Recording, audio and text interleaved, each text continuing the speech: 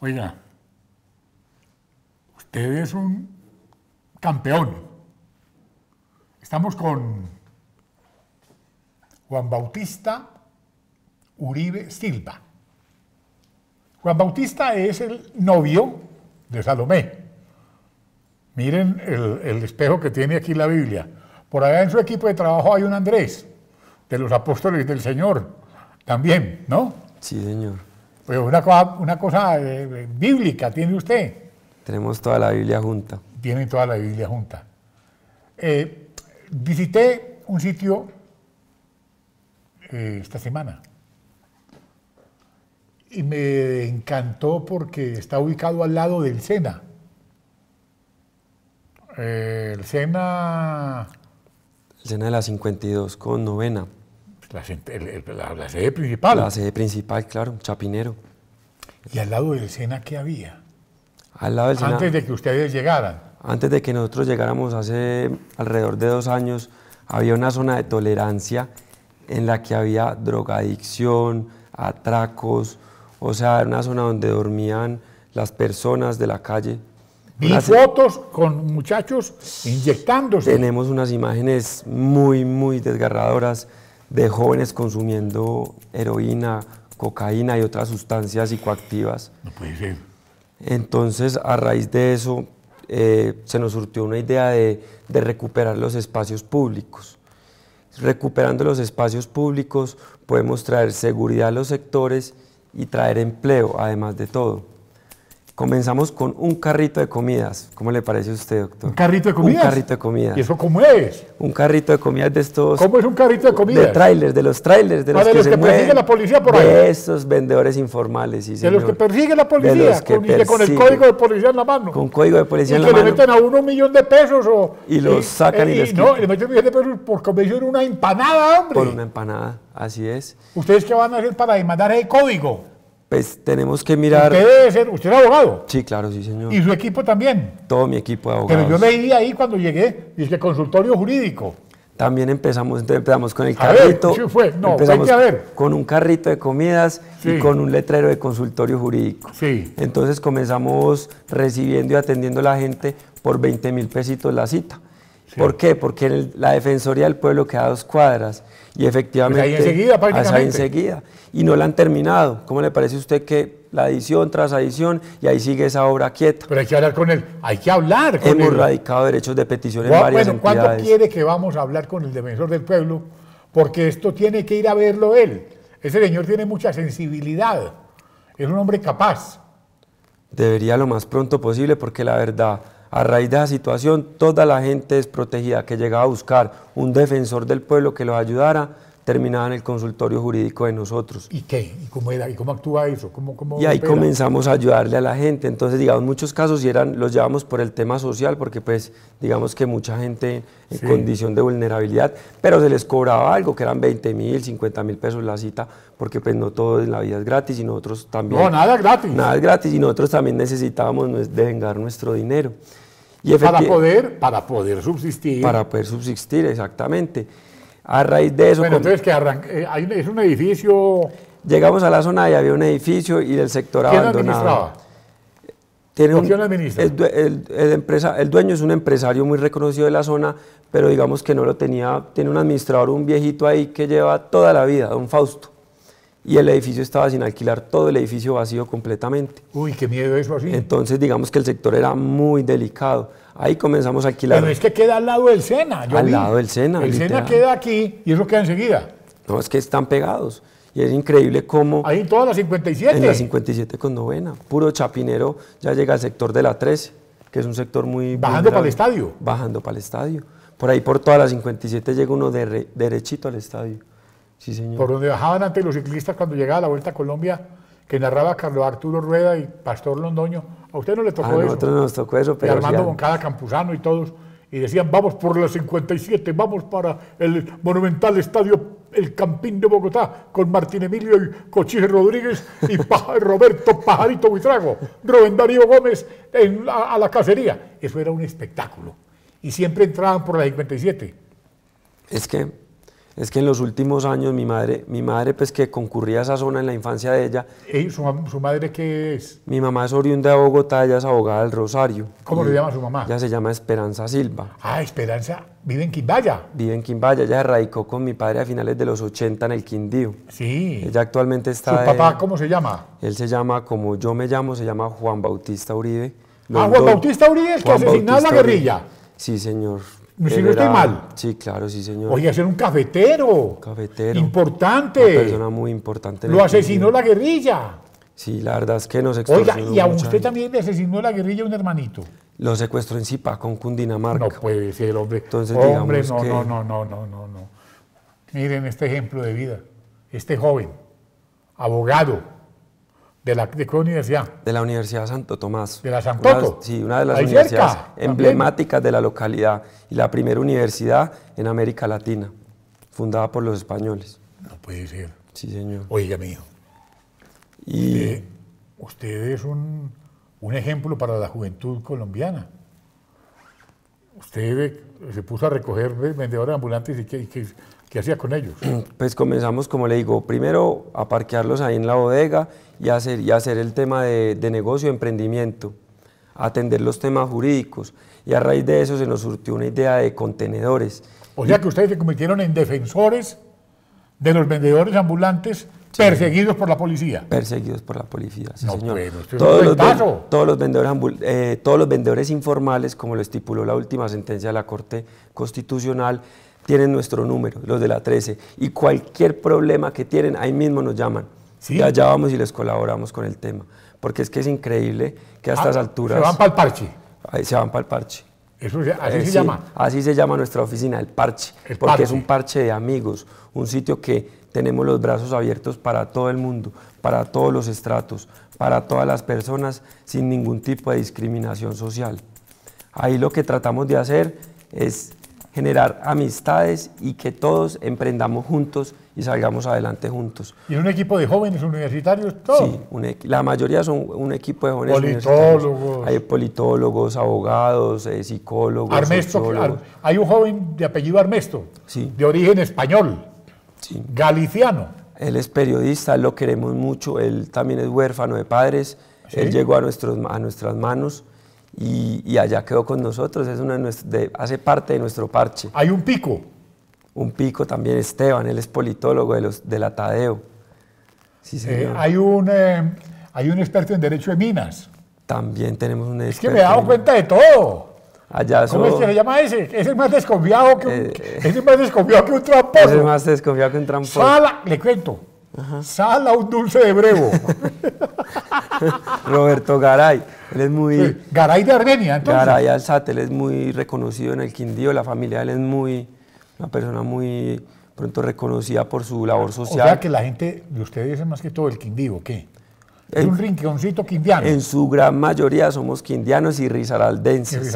Del eje cafetero. Del eje dicho. cafetero, mejor dicho. Pero hay de todo, también hay mucho... Y los de Neira también podemos caber También ahí. caben ustedes, los de acá de Bogotá, los de Cali. Pues los de Neira, Caldas. O sea que Ah, de- Caldas, Quindío y Risaralda. Quindío y Risaralda. El viejo Bueno, Caldas yo me que llamaba. a eso también. El viejo Bueno, Caldas. vie- el, el viejo Caldas. El viejo Caldas, sí señor. Sí, sí, el eje cafetero, como le decían otros. Fuimos el último departamento en, en ser creado. Sí, cuando eh, decían, dada en César lo que, al César lo que es del César y en César lo que es del César. Juan César López fue el senador emblemático que ayudó con nuestra separación.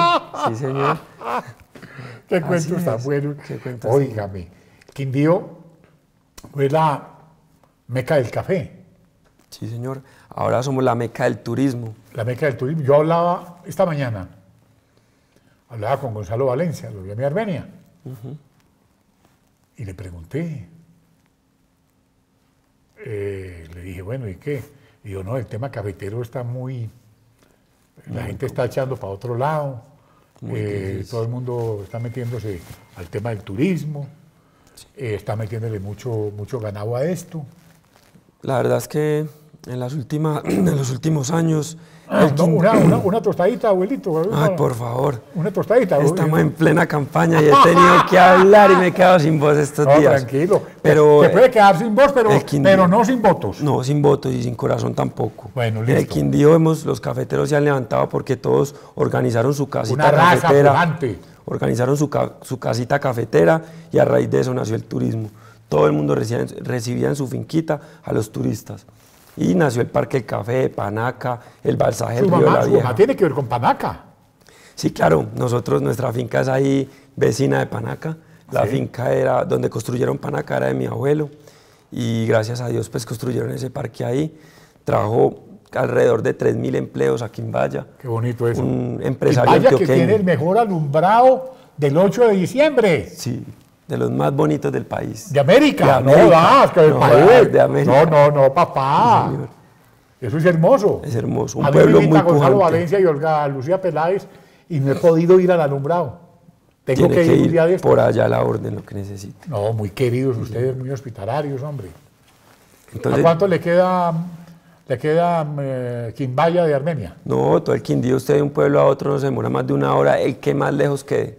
El más lejos es que, a ver, De pronto los de la cordillera, Génova. cordillera Génova, Buenavista, Córdoba, bueno, pues es que el Quindío ha dado para todo, ¿no? el Quindío. ha dado para Allá todo. tuvieron, En el allá, allá último- nació, allá nació Tiro Fijo.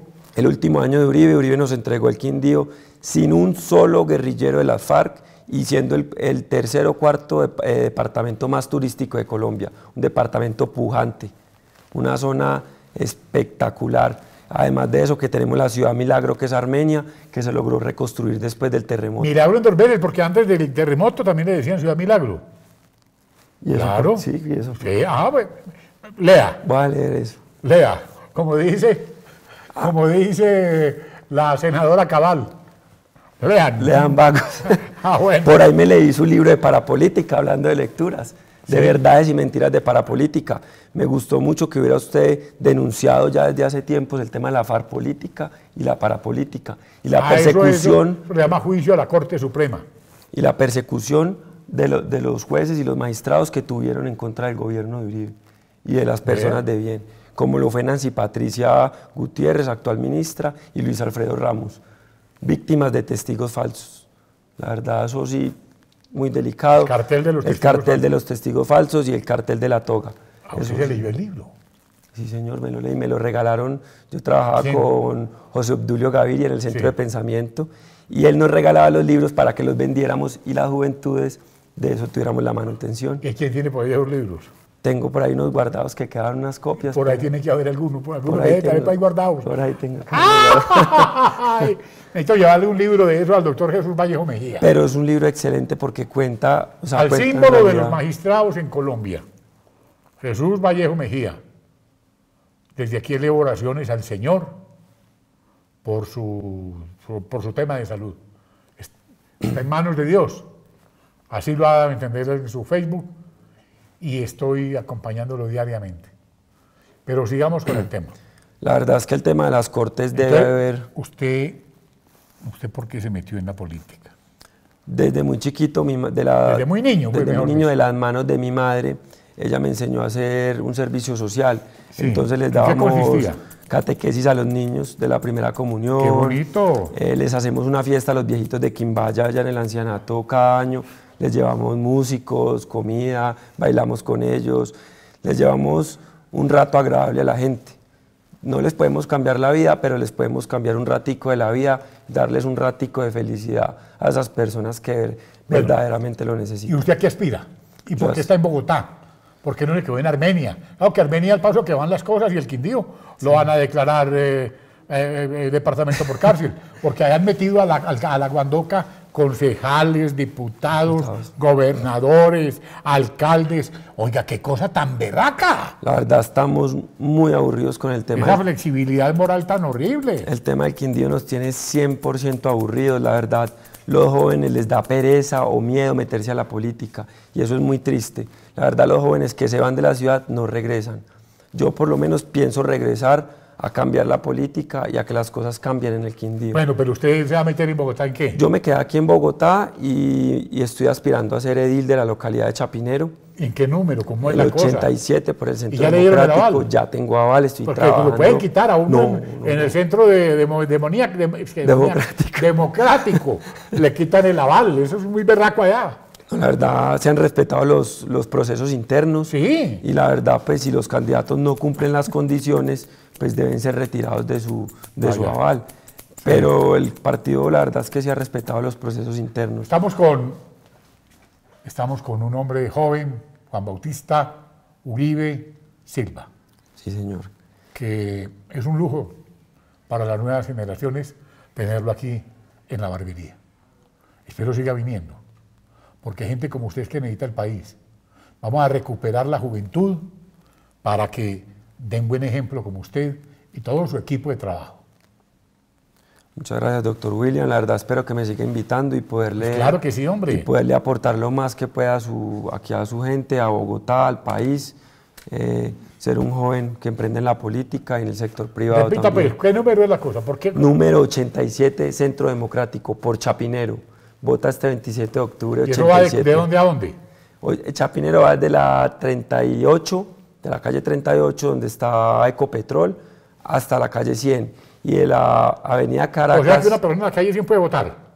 sí, hay que dar los límites de la localidad. Hay que Hay ah, los bueno. límites de la localidad. Lindamos por, por el norte, lindamos con Usaquén. Y por el sur, con, con Santa Fe, con el centro. Y de la Caracas hacia, hacia los cerros orientales. En los cerro- cerros orientales, donde tengo mi trabajo social, que es en los estratos más bajos. Barrios como Pardo Rubio, Bosque Calderón, Nueva Granada, Juan 23. Hay Bosque Calderón de donde sacaron la niña, violaron y la mataron. Sí, y, ole, ¿y qué daño me hicieron? Porque el muchacho ese que hizo ese daño tiene apellido Uribe, pero no es de mi Uribe. Entonces, Ni del no- doctor Álvaro Uribe. No, tampoco es de esos Uribe buenos. Ese Sí. señor no tiene nada que ver con mi familia ni con la del doctor Álvaro Uribe Vélez. Nosotros tenemos un trabajo con madres cabeza de hogar Sí. y con el adulto mayor y con los jóvenes, los chiquitines. Eso es lo que más nos gusta. Dios lo bendiga, hijo. Usted le llega a uno a- al alma lo que usted le ha dicho a la ciudad de Bogotá hoy. Su participación aquí es elocuente y su equipo de trabajo inmejorable. Repita el número, por favor. Número 87, Chapinero, Centro Democrático. Teléfono allá, porque la gente va que los, el consultorio jurídico, porque es que esto es Tres- social. Mi número es 310-389-3888. Repita. 310-389-3888. Que me llamen. Teléfono de droguería, oiga, Que me 310. llamen de taxi. Más fácil para taxi. que se lo memoricen. 310. 389-3888. Listo. Dios lo bendiga, hijo. Muchas gracias, William. 87. 87.